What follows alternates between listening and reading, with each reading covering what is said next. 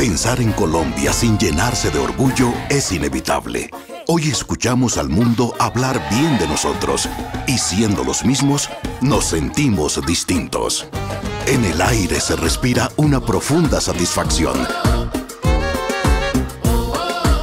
Una gran alegría que confirma que aquí están pasando cosas buenas.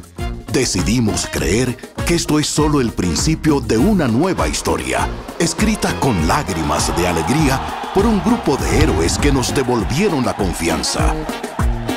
Sin duda, vendrán más triunfos y unidos por la misma pasión, haremos temblar nuestras montañas, nuestros mares,